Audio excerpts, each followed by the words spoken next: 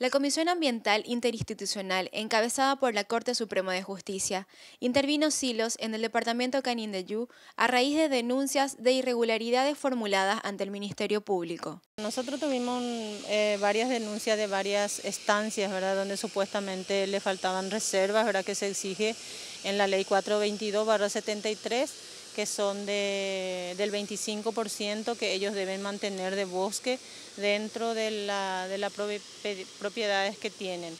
Las intervenciones permitieron constatar las irregularidades que primeramente serán analizadas con mayor detenimiento en los laboratorios ambientales y de acuerdo a los resultados se abrirán procesos a las empresas que incurren en algún tipo de delito ambiental. Por parte de la Corte Suprema, ¿van a seguir estas intervenciones a nivel país? Y esas son las instrucciones del ministro del doctor Antonio Fretes, que se apoya a todas las instituciones. De hecho, esa es nuestra función principal, la de coordinar eh, las acciones o las represiones incluso eh, a delitos o faltas administrativas eh, ambientales.